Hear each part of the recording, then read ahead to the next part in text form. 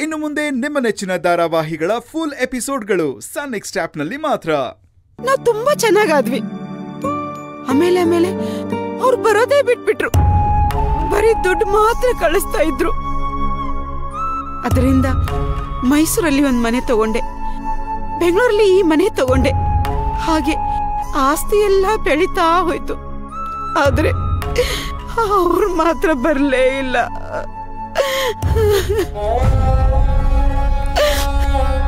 ಆಮೇಲೆ ಆಮೇಲೆ ದುಡ್ಡು ಕಳ್ಸೋದು ನಿಲ್ಲಿಸ್ಬಿಟ್ರು.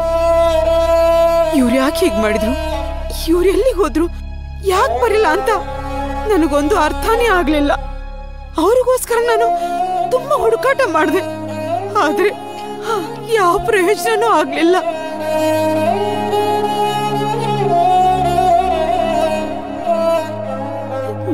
ಮಾತ್ರ ಅವರಿಂದ ವಂಚಿತಳಾಗಿಲ್ಲ.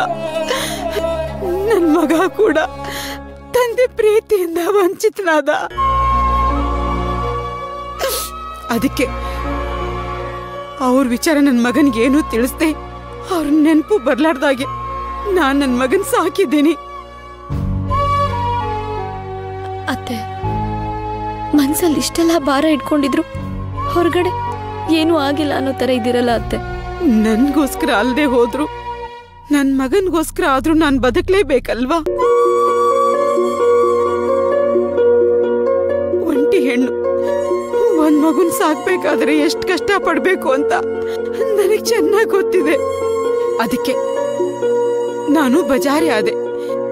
ನಿಮ್ಮೆಲ್ಲರ ಜೊತೆ ಹೊರಟಾಗಿ ನಡ್ಕೊಂಡೆ. ನಾನು ಹಾಗೆ ನಡ್ಕೊಂಡಿದ್ದಕ್ಕೆ ನಿಮ್ಮೆಲ್ರಿಗೂ ತುಂಬಾ ಬೇಜಾರಾಗಿದೆ. ನೋವಾಗಿದೆ ಅಂತ ನನಗೆ ಗೊತ್ತು. ಅದಕ್ಕೆ